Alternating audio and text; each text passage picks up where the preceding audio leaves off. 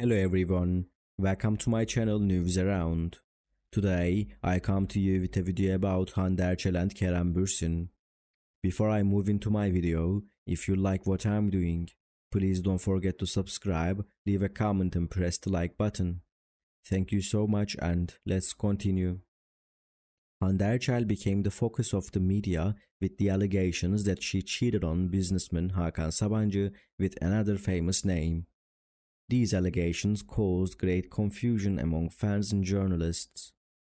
While Hande Erçel is known for her successful performance in the TV series Sen Kapımı, Hakan Sabancı is known for his impressive career in the business world. The duo also attracted the attention of the media as they had been together for a while.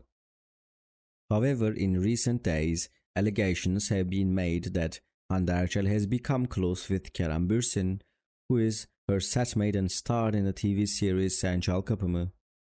These allegations led to rumors that Erçel was cheating on Hakan Sabancı, with whom she was in a relationship with Kerem Bürsin. According to the news in the newspapers and social media platforms, it is claimed that a sincere relationship developed between Hande Erçel and Kerem Bürsin on the set. The rapprochement of the two and the emotional bond between them strengthens the allegations that Hande Erçel cheated on Hakan Sabancı.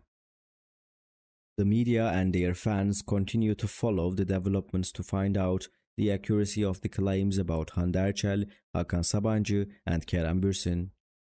It is thought that as more information emerges about the future of bilateral relations and the truth of the claims, more enlightenment will be provided in this issue.